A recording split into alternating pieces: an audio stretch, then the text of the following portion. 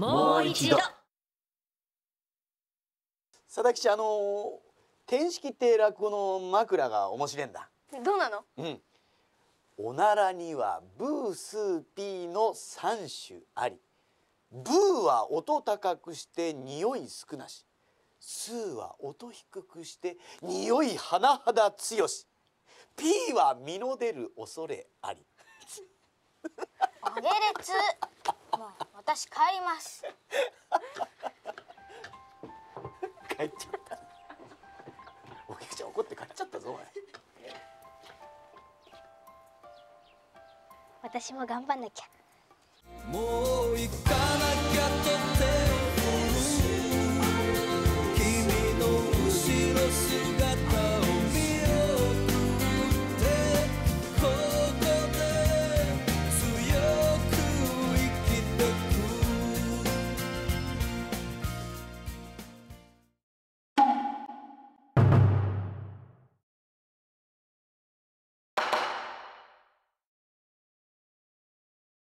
別に急がぬ二人旅。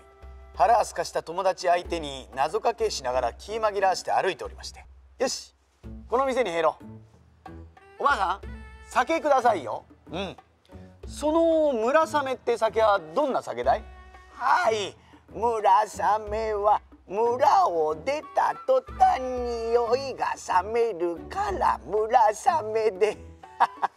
なんだっていいや。じゃあそれ一つもらおう。飲んでみるってとこれがひどい。お世辞にもうまいとは言えない酒で。おいおかみよ。この酒ちょっと薄くねえか？ああまさかおめ。え？えせっかくの酒に水で薄めるなんてことしてねえだろうな。文句を言ってる二人に茶店のおばあさんはこう言うんだ。何言ってんだい。水で薄めるなんてそんなもったいないことするわけないだろう。だいたいあんたら飲みすぎなんだよだから水に少しだけお酒を入れてるんだよ。